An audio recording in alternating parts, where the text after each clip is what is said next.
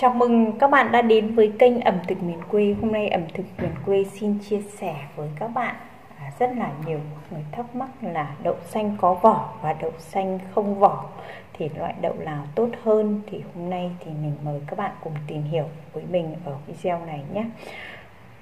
Vì các bạn biết rằng không ít người thắc mắc đậu xanh không vỏ và đậu xanh có vỏ cái nào tốt thì à, cái thứ nhất là có nên ăn đậu xanh à, có vỏ hay là nên ăn đậu xanh bỏ vỏ đi rồi các bạn nhé.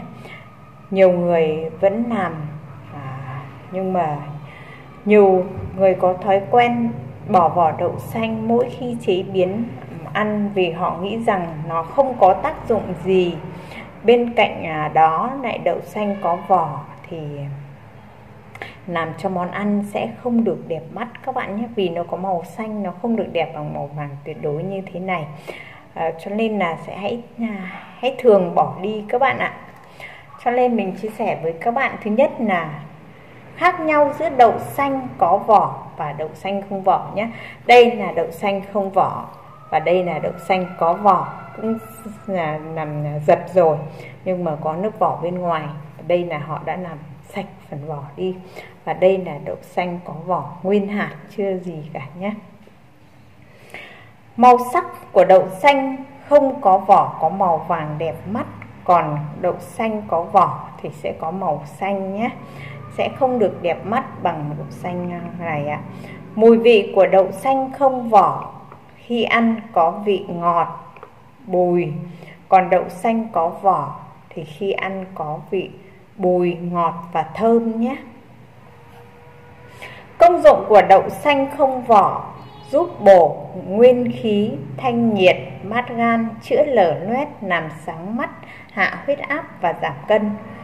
Còn ngoài các tác dụng tương tự như đậu xanh không vỏ thì đậu xanh có vỏ thì à, à, vẫn như thế. Và đậu xanh À, theo các chuyên gia dinh dưỡng thì vỏ của đậu xanh có chứa nhiều hoạt chất thuộc nhóm flavon có tác dụng ức chế sự tăng trưởng của các tế bào ung thư nhé và giảm nguy cơ mắc một số bệnh ung thư tuyến tiền liệt đã ung thư vú giải độc và ngăn ngừa tình trạng mờ mắt.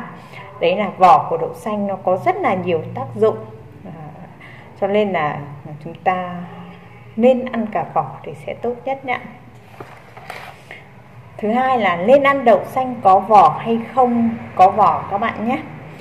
Cả hai loại đậu này đều chứa thành phần protein tinh bột, chất béo và chất xơ ạ. Ngoài ra, đậu xanh còn chứa nhiều vitamin E vitamin B1 vitamin B2 vitamin B3 vitamin B6 và vitamin C. Tiềm vitamin K và axit folic các nguyên tố gồm canxi, magie, cani, natri, kẽm, sắt rất là tốt cho sức khỏe các bạn ạ. Mọi người thường có thói quen dùng đậu xanh không vỏ để nấu chè hay nấu cháo, nấu sôi hay nấu canh các bạn nhé. Vì trông nó đẹp mắt hơn. Tuy nhiên điều đó là hoàn toàn sai lầm. Nếu đậu xanh đã đãi vỏ thì chỉ còn là món ăn dinh dưỡng, còn tác dụng như là giải độc, giải nhiệt sẽ gần như là không còn nhé, nó sẽ mất hết ạ. Như phân tích ở trên thì vỏ đậu xanh mới thực sự có tác dụng chính trong sự ờ, việc là giải độc các bạn nhé. Vì thế ăn đậu xanh không nên bỏ vỏ đậu xanh, chưa kể đậu xanh và bỏ vỏ ấy, thường bị mất đi à, nhiều chất hơn vì không có một lớp vỏ bảo vệ ở bên ngoài ạ. Tuy nhiên đối với những người không ăn được vỏ đậu xanh vì nó nhám hay là ăn vào cảm thấy không nuốt được thì không nên ăn vỏ đậu xanh nhé. Ngoài ra đối với các em bé còn nhỏ tuổi ấy, thì không nhất không nuốt được khi ăn vỏ đậu xanh thì các mẹ hãy chọn loại đậu xanh không vỏ để cho các bé ăn cho nó an toàn nhé. Và những lưu ý khi ăn đậu xanh các bạn ạ. Rất là tốt đối với sức khỏe, nhưng cái gì tốt hay không cũng đều phải có những lưu ý các bạn nhé. Thứ nhất là đậu xanh tuy tốt, nhưng bạn không chỉ ăn quá nhiều đậu xanh nhé. Thông thường người lớn chỉ ăn khoảng 2 đến 3 lần một tuần ạ. Ăn quá nhiều đậu xanh sẽ gây ra tình trạng như da bệnh dạ dày đường ruột. Nữ giới ăn đậu xanh quá lượng sẽ dẫn đến tình trạng trứng bụng hay là đau bụng kinh nhé. Thứ hai người có tình trạng lạnh bụng nhé. À, thể chất hàn lạnh không nên ăn những thực phẩm có tính hàn mát như là đậu xanh ạ thứ ba không nên ăn đậu xanh sống để chữa lạnh chữa bệnh nhé. Vì một số trường hợp bệnh nhân bị ngộ độc à, như là say chóng mặt ngất xỉu nôn mửa ra sẽ không tốt ạ nếu mà chúng ta ăn đậu xanh sống ạ.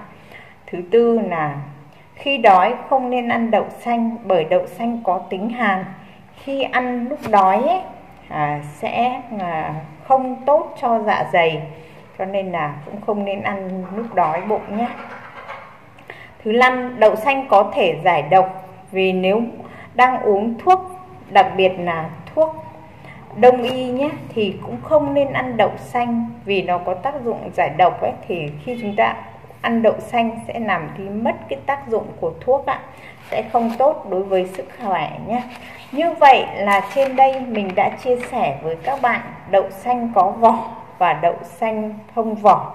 Loại nào tốt hơn thì theo phân tích đấy thì các bạn đã biết rằng đậu xanh à, nào cũng tốt nhưng mà đậu xanh có vỏ sẽ sẽ tốt hơn vì nó có những cái tác dụng như là giải độc giải nhiệt à, hay là à, phòng một số bệnh rất là tốt ạ.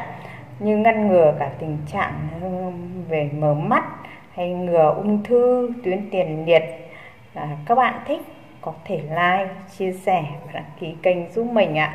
Ẩm thực miền quê ạ. Thông thường thì mình à, hay ăn đậu xanh à, có vỏ này kể cả là nó à, mất công đãi đi một chút khi mình không muốn ăn nó nhám ấy. Nhưng mà ăn đậu này vừa bùi vừa thơm vừa lại bở ngon hơn là đậu xanh này các bạn ạ. Đấy là theo mình. Đây các bạn à, mình sẽ ngâm cái đậu xanh trong nước nhé